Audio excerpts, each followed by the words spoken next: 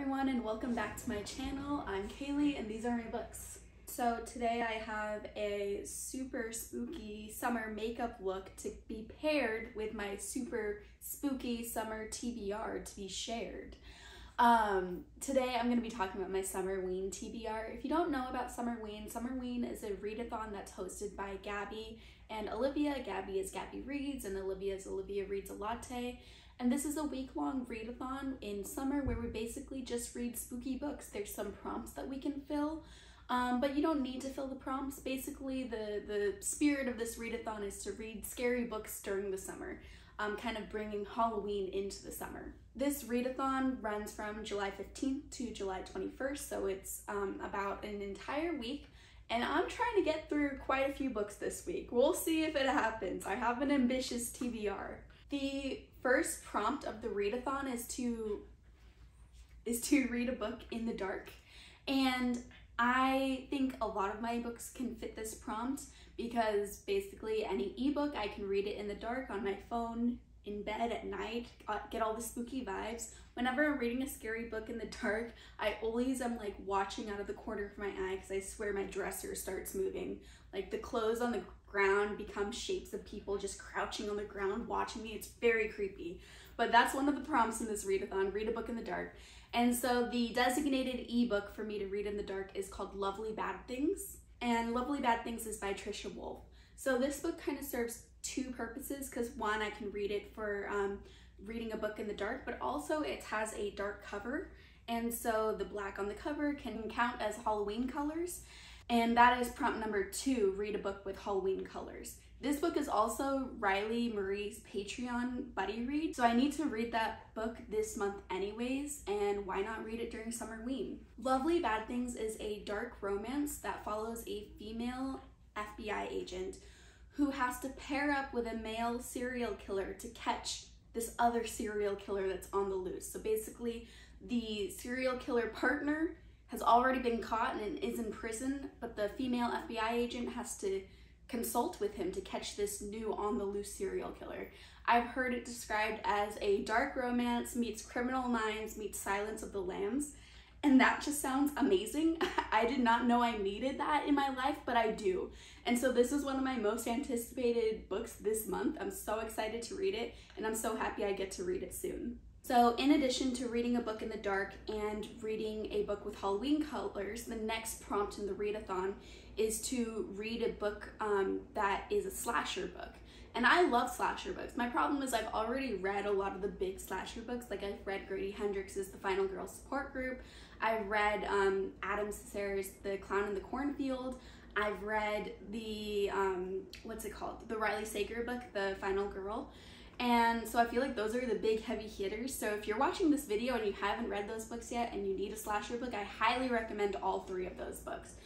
For me, I think the slasher book I'm going to read is Camp Slaughter. Camp Slaughter is by Sergio Gomez, and this is a book about a group of college kids that go to a uh, cabin in the woods, and just so happens there's a cannibal loose in the woods, and they slowly get picked off one by one, like any good slasher book. So I think this is quite a silly slasher premise, right? It's gonna be one of those um, popcorn reads, much similar to like silly horror movies, and I am all for it. That sounds great. I have heard some people not like this book, but I think the people that don't like this book also don't like slasher books and I like slasher books so I'm hoping that Camp Slaughter is a good book for me. So, so far on the TBR we have Lovely Bad Things which is about 380 pages and Camp Slaughter which is about 280 pages. So not too bad so far, two full-length books but Camp Slaughter is a little bit under a full-length book, I mean 280 I feel like 300 is kind of the average book length, so it's slightly under. And I'm hoping I can get through those two books pretty early on in the week and if I can get through those two books early on in the week, then for the next prompt, I want to read a longer book. So the next prompt is to read a book with the word haunt or haunting in the title. And I really want to read Haunting Adeline. Haunting Adeline is by H.D. Carlton, and this is a dark romance about a stalker ghost and a human girl.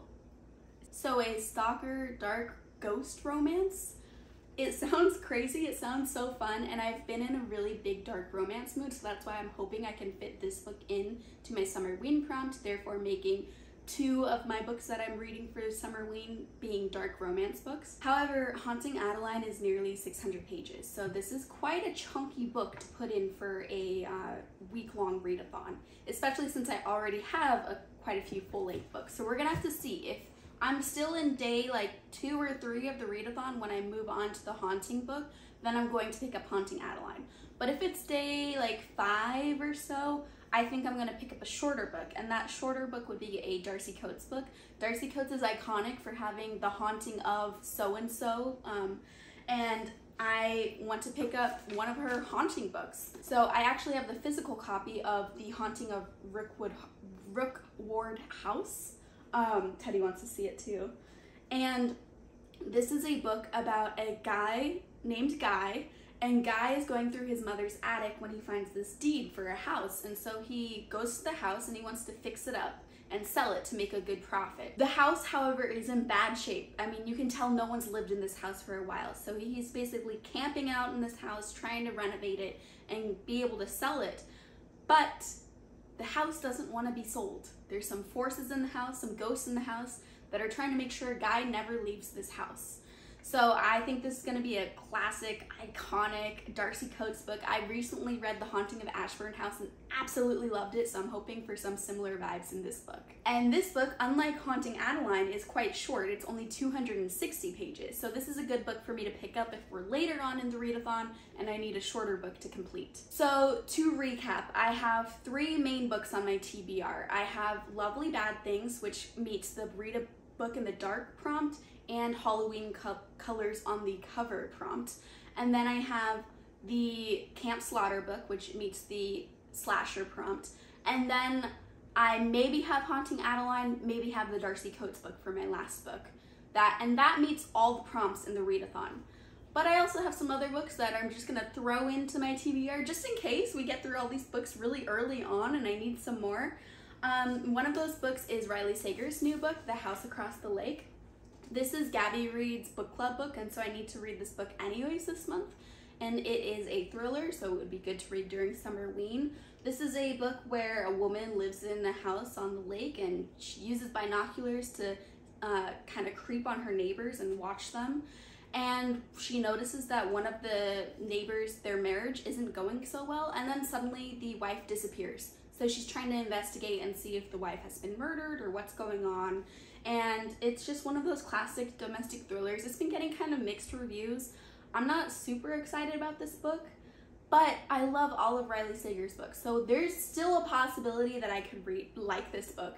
However, if any other author had come out with a book, come out with a book with this premise, I would not be picking it up because it just seems like such a tired premise.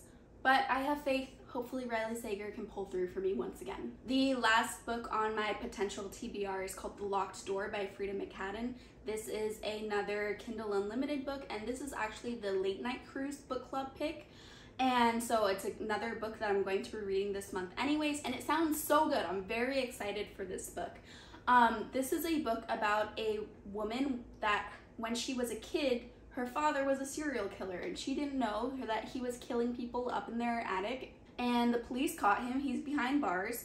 And now that this woman is an adult, she has a job and no one knows who her father is. No one knows that her father is this iconic serial killer. However, in her town where she lives as an adult, bodies start popping up that follow the same pattern her father used when doing his serial killings. So there's a copycat serial killer inspired by her father, and she's freaked out because that means one, someone knows who she is probably, and two, the police might be suspicious of her, and she does not want anyone to see what's in her basement. This book sounds really intriguing, and and again, I have to read it already this month, so I'm gonna fit it into this week if for some reason I get through all of these five or six books really quickly. Let me know down in the comments if you're gonna be participating in Summerween, and if you are, what's on your TBR? I love watching these TBR videos because I'm always looking for some more spooky book recommendations.